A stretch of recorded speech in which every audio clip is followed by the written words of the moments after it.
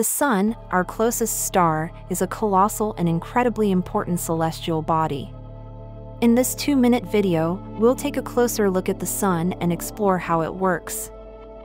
The Sun is a massive ball of hot, glowing gas. Its core is the hottest part, with temperatures soaring to about 15 million degrees Celsius. The energy produced here is what makes the sun shine. The sun's energy is generated through a process called nuclear fusion. In the core, hydrogen atoms fuse together to form helium. This process releases an incredible amount of energy in the form of light and heat.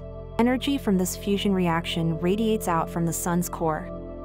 It takes thousands of years for this energy to reach the sun's surface, which is the visible part we see from Earth.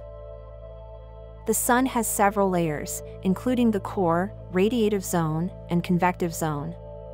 The outermost layer is the photosphere, which is the part we see as the sun's surface. The sun's surface isn't always quiet. Sunspots are cooler, darker areas caused by magnetic activity. Solar flares, on the other hand, are powerful bursts of energy and radiation.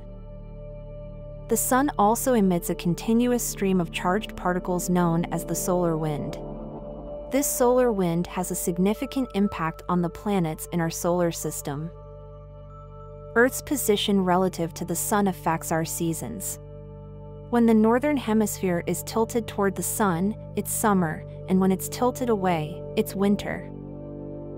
The sun has been shining for about 4.6 billion years and has a few billion more years to go.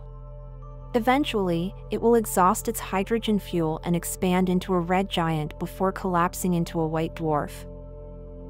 We can harness the sun's energy for practical purposes, such as generating electricity through solar panels, a clean and sustainable source of power.